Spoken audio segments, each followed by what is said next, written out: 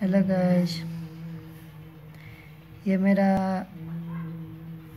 सातवां वीडियो है और हमने इसको जल्दी से आपके लिए प्रिपेयर किया है। इसको आप जल्दी जल्दी फटाफट इसको नोट डाउन कर लीजिए और इसको इस्तेमाल कीजिए। बहुत इम्पोर्टेंट फार्मूला है।